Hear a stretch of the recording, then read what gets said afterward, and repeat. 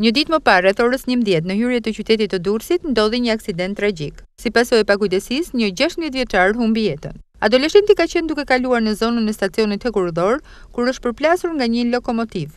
Shpejtësia e lëvizjes ishte vetëm tetëmbëdhjetë kilometra në orë, por përplasja i ka marrë jetën të riut, pasi ai ka qenë me kufje në vesh. Ndonëse i është nënshtruar një ndërhyrje të menjëhershme kirurgjikale, i riu nuk ka mundur të mbijetojë. Kjo, nuk është hera e parë që ndodh një ngjarje tragjike e këtyre përmasave.